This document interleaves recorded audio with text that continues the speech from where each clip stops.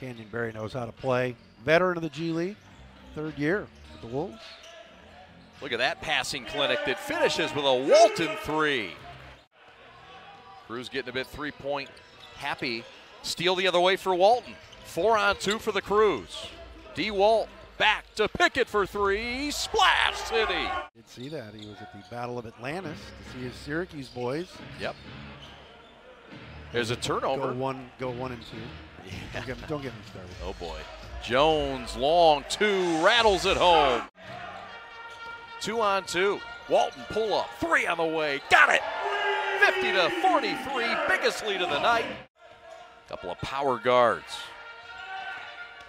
D Walt down the avenue, right hand laying, got it with nine to go until halftime. On track, just 55 points tonight. Chest pass stolen by Servetus.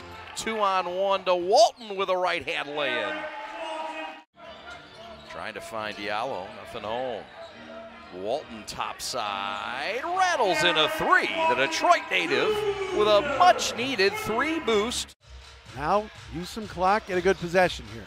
Walton crossover, step back, 16 footer, you betcha!